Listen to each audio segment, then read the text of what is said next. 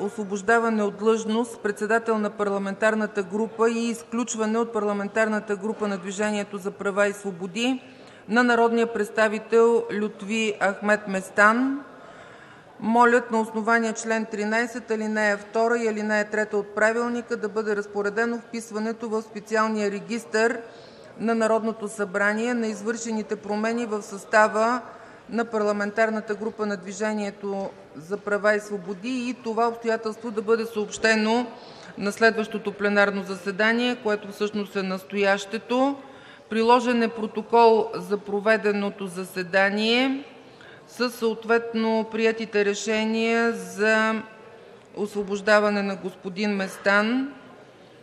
Решенията са, дословно чета: на основание решение на Централния съвет на ДПС от 24 декември 2015 г. точка първа освобождава от длъжност председател на парламентарната група и изключва от парламентарната група на ДПС народния представител Лютви Ахмед Местан поради освобождаването му от длъжността председател на ДПС и изключването му от Политическа партия Движение за права и свободи.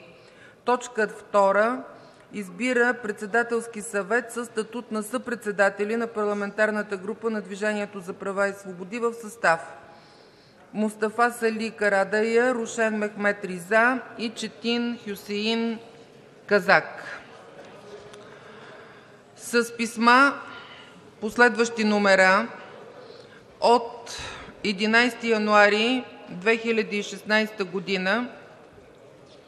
народните представители Хюсеин Хасан Хафъзов, Венцислав Йорданов Каймаканов, Лютви Ахмед Местан също е подал и такава молба-заявление, както и господин Айдоан Муталиб Али, Шабан Али Ахмед Дурмуш и професор доктор на филологическите науки Мариана Василева Георгиева-Бенчева са подали заявление, че във връзка с несъгласието им към и относно решението за изключване от ДПС на председателя господин Лютви Местан и отстраняването му от всички заемани позиции, считано от 11 януари 2016 г., напускат Парламентарната група на Движението за и свободи съответно придобиват статут на народен представител, нечленуващ в парламентарна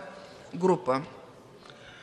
Във връзка с постъпилото заявление на госпожа Мариана Георгиева от 11 януари за напускане на Парламентарната група на ДПС Ви информирам, че съгласно чл. 22, ал. 2 от правилника заместник-председателите на постоянните комисии се освобождават предсрочно при прекратяване членството си в парламентарната група, от чиято квота са избрани. На това основание обявявам освобождаването на госпожа Мариана Георгиева като заместник-председател на Комисията по образованието и науката. Съгласно чл. 22, ал. 4 от Правилника за организацията и дейността на Народното събрание освобождаването се обявява без да се обсъжда и гласува.